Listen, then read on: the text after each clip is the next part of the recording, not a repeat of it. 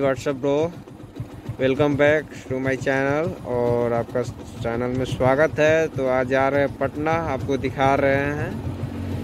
पूरा रोड दिखाते हुए जाएँगे, पूरा लोकेशन और ये अभी देख रहे हैं, अभी का मौको दिखा रहा हूँ। देख लीजिए।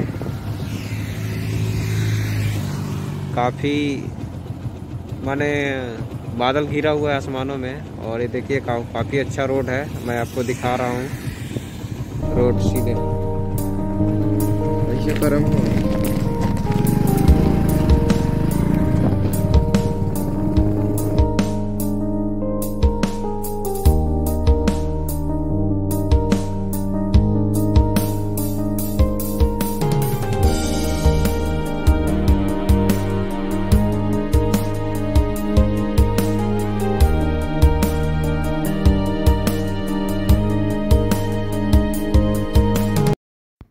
गाय देख सकते हैं यहाँ पे।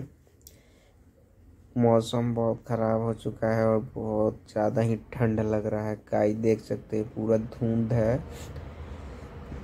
दूर से कुछ दिखाई नहीं दे रहा है बट इसलिए आदमी स्लो चल रहा है, गाड़ी स्लो चला रहे हैं और कुछ मिनटों में जेपी सेतु पुल पे हम लोग एंट्री करने वाले हैं।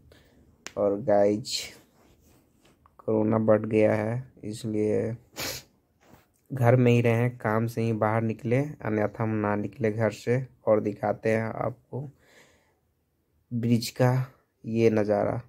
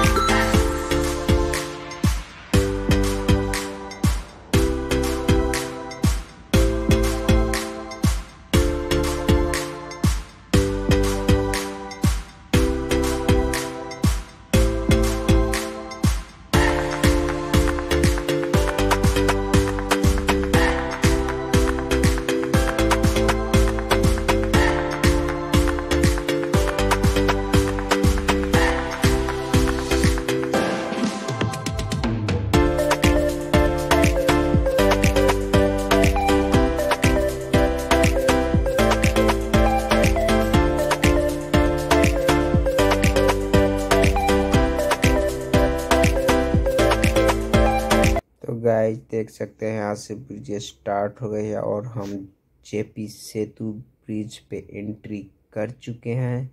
तो गाय देख सकते हैं, ये पुल का पूरा दृश्य आप ध्यान से देखिए, बने रहिए और इस ब्लॉग